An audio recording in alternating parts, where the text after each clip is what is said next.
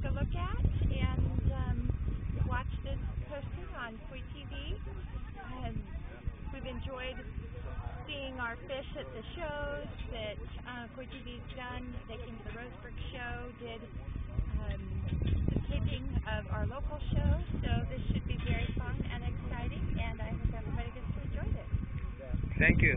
Thank you.